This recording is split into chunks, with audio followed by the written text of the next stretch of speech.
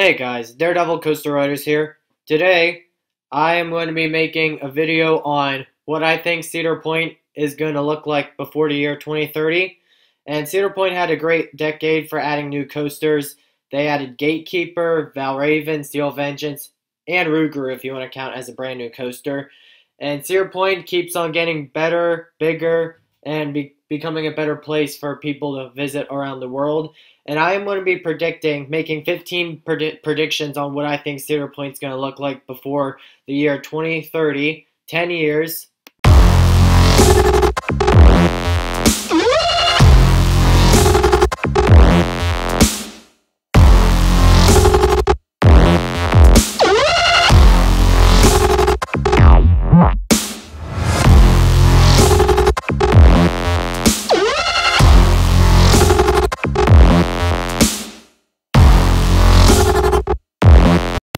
Number one, Gemini is going to be gone before the year 2030 because Gemini has been having a lot of technical issues lately. It's been running one side lately, and Cedar Point maintenance have been having a lot of problems with this ride, and I'm pretty sure Gemini is going to be gone before 2030 because Arrow Dynamics is no longer in business and it's really hard for these types of rides, the Aeromine trains, to keep operating and it's hard to get certain parts for them and that's why I think Gemini is not going to be here before the year 2030.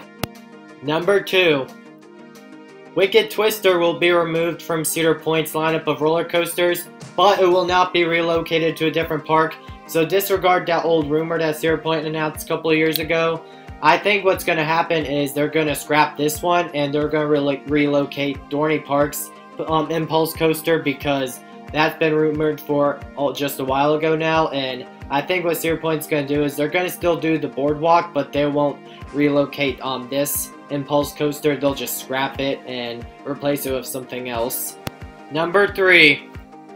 Cedar Creek Mine Ride, Snake River Falls, and the antique cars will be gone by 2030, and Frontier Town will never be the same after these rides get the axe because the Cedar Creek Mine Ride hasn't been that popular lately because since it's been having a lot of maintenance issues and Arrow Dynamics went out of business and it's really hard to maintain this like family coaster. The antique cars because they have two antique cars and they really need only one set of antique cars. So that's why I think antique cars can leave and the Snake River Falls water rides haven't been that popular anymore and I'm pretty sure Snake River Falls will go since a lot of Cedar Fair parks have removed their water rides.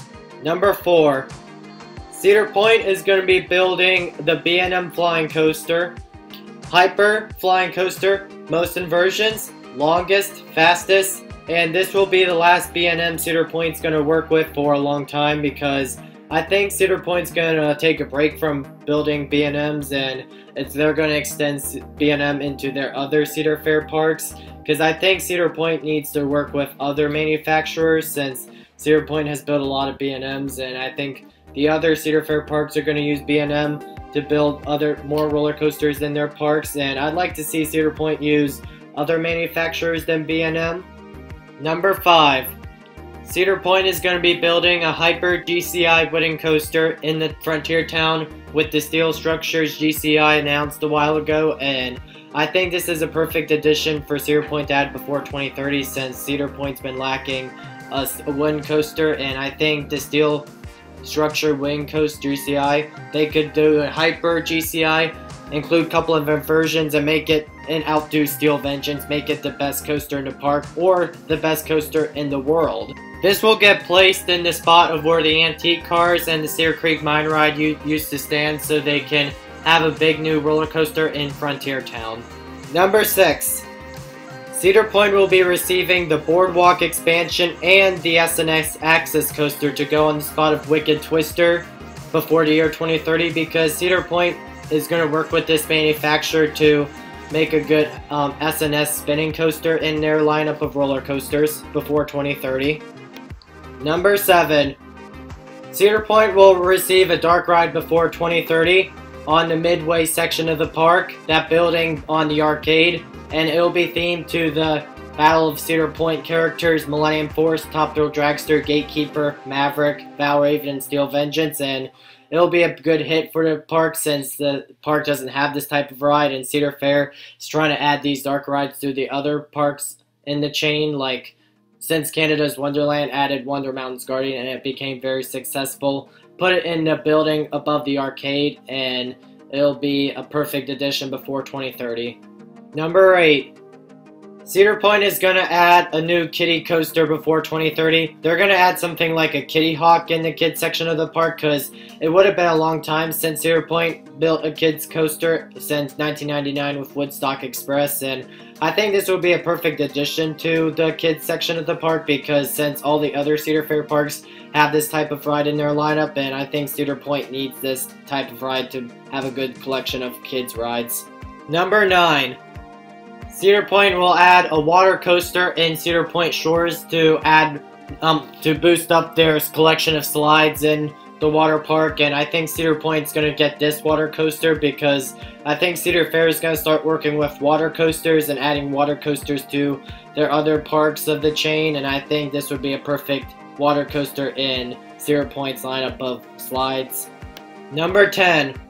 Cedar Point will add a couple of new thrill rides before the year 2030. They'll add a top stand and a mile Mondale spinning ride in their collection of thrill rides because I think Cedar Point needs to add more thrill rides to their collection of thrill rides because it would make Cedar Point have one of the best thrill ride collections in the world and a better park for people to visit and ride thrill rides. Number 11. Cedar Point will add a Mack Power Splash in the spot of Snake River Falls since they will have removed Snake River Falls and they'll have the new water ride and since Cedar Fair has been working with Mack Rides, I'm pretty sure Cedar Point's gonna have this type of water ride in their um, lineup and it can be considered a roller coaster, which it is, and it'll be very successful if Cedar Point adds this type of water attraction in the dry park. Number 12. Cedar Point is going to work with a couple of their roller coasters. They're going to work with Magnum XL 200, replace the trains, maybe replace the track and make it have a better ride experience so it can be one of the best coasters in the park since it's the original hyper coaster in the world. And Rougarou will get the B&M vest restraints. I think the Rougarou should have got the B&M vest restraints when it was first converted into a floorless since Gatekeeper had it and pretty sure they'll put that type of vest restraints so Rougarou can have a better ride experience. Number 13. Cedar Point will be receiving the Golden Ticket Award for being the best theme park in the world before 2030 because Cedar Point deserves to have this ticket and they're one of the best theme parks in the world. Make it the number one in the world so they can attract more guests and make it a better place. Number 14. Cedar Point will have the 500 foot roller coaster RMC T-Rex and this would be a perfect addition because Cedar Point's been wanting to break the 500 foot roller coaster for a long time. And that means they would have broken the 200, 300, 400, and 500 foot roller coaster marks in their theme park world records. And it would be perfect to see Cedar Point breaking those four height world records. Number 15 and final, Cedar Point will be home to the most coasters in one park with more than 21 coast more than 20 coasters at one park and they will have the most coasters above 200 feet at one park and by 2030 this park will become a lot more successful become a lot more better how it used to be it'll be able to beat Magic Mountain and other parks around the world and it'll be um, still going on as long as it can thanks for watching Make sure you like, comment, and subscribe. Also, follow the social media if you can. And see you in the next video, which will be Kings Island or Canada's Wonderland before 2030. Peace out.